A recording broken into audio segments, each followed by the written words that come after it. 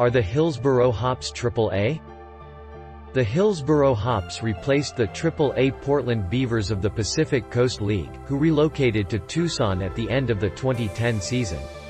The Portland area went without minor league baseball in 2011 and 2012.